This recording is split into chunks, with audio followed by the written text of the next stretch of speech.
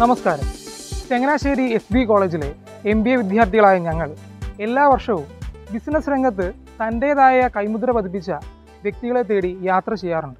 ഇന്ന് ആ യാത്രയിൽ ഞങ്ങൾ എത്തിച്ചേർന്നിരിക്കുന്നത് എച്ച് ടു ഒ കെയർ എന്ന വാട്ടർ ട്രീറ്റ്മെന്റ് പ്ലാന്റിന്റെ ഓണറായ മാനേജിംഗ് ഡയറക്ടറും ഫൗണ്ടറുമായ ജോർജ് കറിയ സാറിന്റെ അടുത്തേക്കാണ്. നമുക്ക് ബാക്കി വിശേഷങ്ങൾ സാറിനോട് തന്നെ നേരിട്ട് ചോദിച്ച് മനസ്സിലാക്കാം.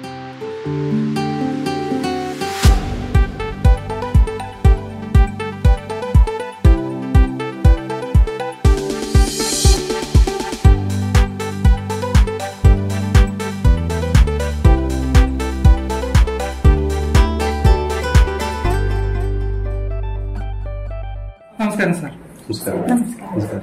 Sir H two care എന്ന ഈ ബ്രാൻഡ് അത് ഈ ഒരു ലെവലിലേക്ക് വളർന്നു വരുന്നതിന് എന്തായാലും അതിന് പുറകിൽ ഒരു ചരിത്രം കാണും. അപ്പോൾ അതിന്റെ ഒരു ലഘു ചരിത്രം ഞങ്ങൾക്കൊന്ന് പറഞ്ഞുതരും. പേജ് ടു കെയർ രണ്ടായിരത്തി ഏഴിലാണ് ചങ്ങനാശ്ശേരിയിൽ സ്റ്റാർട്ട് ചെയ്യുന്നത്. ഞങ്ങൾ സീവേജ് ആൻഡ് എഫ്ലുവൻ ട്രീറ്റ്മെന്റ് പ്ലാന്റുകൾ ചെയ്യുന്ന കേരള സ്റ്റേറ്റ് പൊല്യൂഷൻ കൺട്രോൾ ബോർഡിന്റെ കൺസൾട്ടൻസ് ആയിട്ടാണ് ഈ ഫേം സ്റ്റാർട്ട് ചെയ്തത്.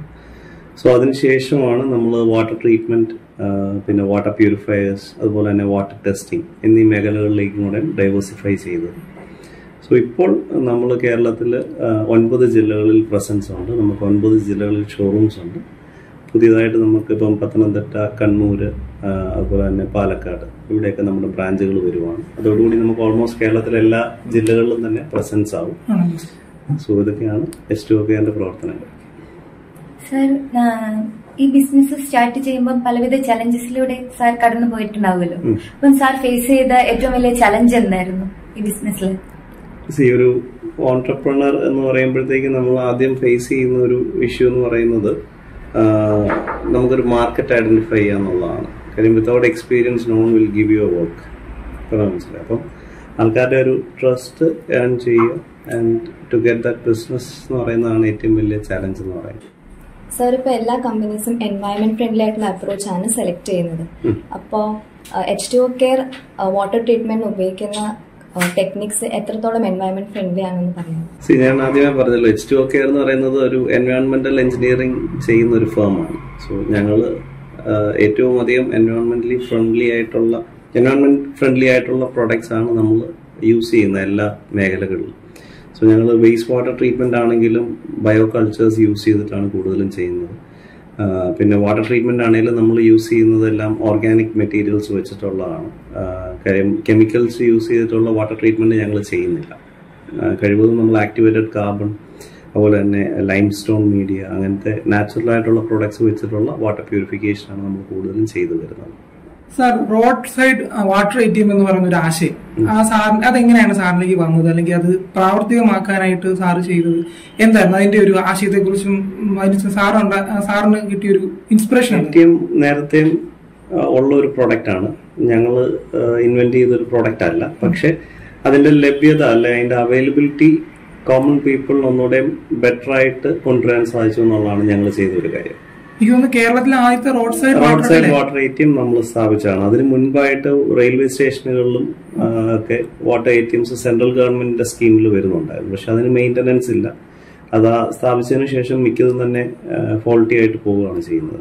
അപ്പൊ ഞങ്ങളിപ്പോൾ road side A T M എന്ന് പറയുമ്പോഴത്തേക്കും നമുക്ക് വണ്ടിയിൽ പോകുന്ന ലോറി ഡ്രൈവേഴ്സ് അതുപോലെ തന്നെ ഓട്ടോ ഡ്രൈവേഴ്സ് അവർക്കൊക്കെ വളരെയധികം ഹെൽപ്ഫുൾ ആയിട്ട് വെള്ളം രണ്ട് രൂപ നിരക്കിൽ കൊടുക്കാൻ സാധിക്കും. സാർ എച്ച് ടു കെയറിന്റെ പ്രോഡക്ട്സ് നമ്മൾ കസ്റ്റമൈസ്ഡ് ആയിട്ട് ചെയ്ത് കൊടുക്കാറുണ്ടല്ലോ.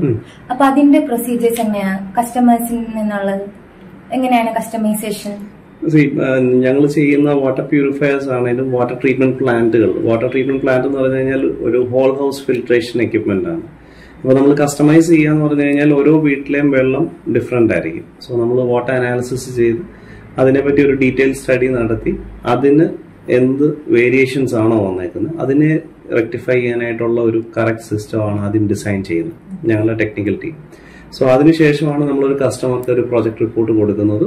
സോ ഹൺഡ്രഡ് പെർസെന്റ് ഒരു ടൈലർ മെയ്ഡ് ആയിട്ടുള്ള ഒരു സിസ്റ്റം ആയിരിക്കും ഒരു ക്ലയന്റിന് നമ്മൾ കൊടുക്കുന്നത്.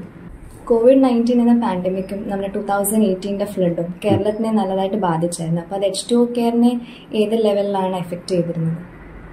സി എല്ലാവർക്കും സംഭവിച്ച പോലെ തന്നെ ഞങ്ങൾക്കും ബിസിനസ്സിൽ നല്ല ഒരു ഹിറ്റ് കിട്ടിയ ഒരു സമയമാണത്. ബട്ട് സ്റ്റിൽ ഞങ്ങൾ സർവൈവ് ചെയ്തെന്ന് പറഞ്ഞു കഴിഞ്ഞാൽ നമുക്ക് കുറേ ഹോസ്പിറ്റൽ ക്ലയൻസ് ഉണ്ട്.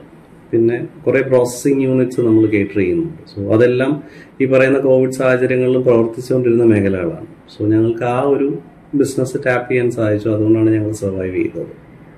ഫ്ലഡ് കഴിഞ്ഞപ്പം കുറെ വാട്ടർ ക്വാളിറ്റിയിലൊക്കെ നല്ല ചേഞ്ചസ് ഉണ്ടായിരുന്നു. അപ്പൊ അതിൽ എന്തെങ്കിലും റിസർച്ചും ഡെവലപ്മെന്റും നടത്തിയായിരുന്നു? വാട്ടർ ക്വാളിറ്റി ബേസ്ഡ് ആയിട്ട് ഞങ്ങളൊരു ഒരു ഒരു അവയർനെസ് ഒരു പ്രോഗ്രാം മലയാള മനോരമ ന്യൂസ് ചാനലിൽ ചെയ്തിരുന്നു. മലയാള മനോരമ ന്യൂസ് ചാനലിൽ ഒരു ഒരു ഹാഫ് ആൻ അവർ പ്രോഗ്രാം അത് ഞങ്ങൾ ഓൾ കേരള വാട്ടർ ക്വാളിറ്റി ഈ ഫ്ലഡിന് ശേഷം വന്നതിന്റെ ഒരു ഡീറ്റെയിൽ സ്റ്റഡി നടത്തി. അതിനുശേഷം ചെയ്ത ഒരു പ്രോഗ്രാം ആയിരുന്നു. And it was very helpful അത് ഒത്തിരി ജനങ്ങളിലേക്ക് റീച്ച് ആയ ഒരു പ്രോഗ്രാം ആയിരുന്നു. സാർ ഒരു ബിസിനസ് ഒരു സംരംഭകൻ എന്നൊരു നിലയിൽ എം ബി എ സ്റ്റുഡന്റ് ആയ ഞങ്ങൾക്ക് അല്ലെങ്കിൽ എം ബി എ പഠിക്കുന്ന അല്ലെങ്കിൽ ഭാവിയിൽ ബിസിനസ്സിലേക്ക് വരാൻ താല്പര്യമുള്ള ആളുകൾക്ക് സാർ എന്താണ് കൊടുക്കുന്ന ഒരു അഡ്വൈസ് സി കേരളം വളരെ നല്ലൊരു മാർക്കറ്റാണ്. പക്ഷെ ഇപ്പോഴത്തെ ട്രെൻഡ് എന്ന് പറയുന്നത് പ്ലസ് ടു കഴിയുമ്പോഴേ എല്ലാവരും കാനഡ ന്യൂസിലൻഡ് അങ്ങനെ പോകുന്ന ഒരു ഇതാണ്. അപ്പോൾ ഏതൊരു പ്രൊഡക്റ്റിനും ഇവിടെ ഒരു മാർക്കറ്റ് ഐഡന്റിഫൈ ചെയ്യാൻ പറ്റുവാണെങ്കിൽ നല്ലൊരു സംരംഭകനായി കഴിഞ്ഞാൽ കുറെ പേർക്ക് ജോലി കൊടുക്കാം. മാത്രമല്ല നിങ്ങൾക്ക് നല്ലൊരു പ്രൊഡക്റ്റ് നാട്ടിൽ ഡെവലപ്പ് ചെയ്ത് കൊണ്ടുവരാൻ സാധിക്കും. ഇപ്പം ഞങ്ങൾ പതിനാറ് വർഷമായി ഈ ഒരു മേഖലയിൽ വന്നിട്ട്. സോ ഞങ്ങളിവിടെ തുടങ്ങിയ സമയത്ത് ഞങ്ങൾ എല്ലാ പ്രതിസന്ധികളും തരണം ചെയ്ത് വിത്ത്സ്റ്റാൻഡ് ചെയ്ത് ഇത്രയും നാളും വന്നുകൊണ്ടാണ് ഇന്നിപ്പം എച്ച് ടു കെയർ എന്ന് പറയുന്ന ഒരു ബ്രാൻഡ് വാട്ടർ ട്രീറ്റ്മെന്റ് മേഖലയിൽ പിടിച്ചു നിന്നത്. സോ സംരംഭകത്വം എന്ന് പറയുന്നത് എളുപ്പമുള്ളൊരു കാര്യമല്ല. പക്ഷെ വളരെയധികം നല്ലൊരു കാര്യമാണ് നിങ്ങൾക്ക് ഒരു പാഷൻ ഉണ്ടെന്നുണ്ടെങ്കിൽ. സോ എം ബി എ കഴിഞ്ഞ് നിങ്ങൾക്ക് നല്ലൊരു പ്രോഡക്റ്റ് ഐഡന്റിഫൈ ചെയ്ത് കേരള മാർക്കറ്റിൽ കൊണ്ടുവരാൻ സാധിക്കുകയാണെങ്കിൽ വളരെയധികം നല്ലൊരു കാര്യമാണ്. So all the best